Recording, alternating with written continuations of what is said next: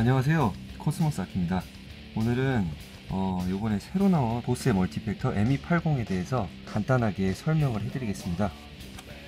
자, 요 단자들을 보시면요. 여기만 파워 스위치가 있고 그 다음에 옆에 아답터를 연결하실 수 있는 부분이 있고 그 다음에 USB 컴퓨터랑 연결할 수 있는 USB 단자 있고 그 다음에 AUX in, 뭐 mp3 플레이어나 이런 것들을 이제 여기다 집어넣으실 수가 있고요. 그 다음에 recording out, 헤드폰 단자가 있습니다.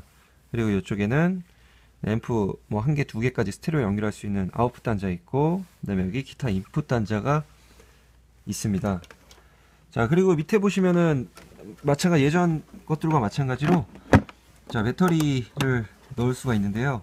6개의 배터리를 넣으시면은 또 아답터가 없이 사용을 하실 수가 있고요.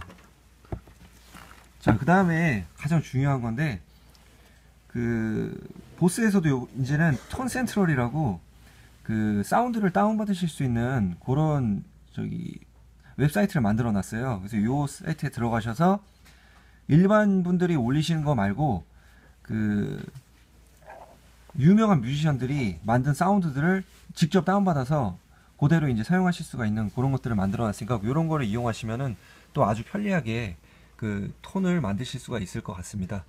자, 여기까지가 ME80 새로 나온 모델이고요. 다음에 또 새로운 모델이 나오면 또 설명을 드리겠습니다. 감사합니다.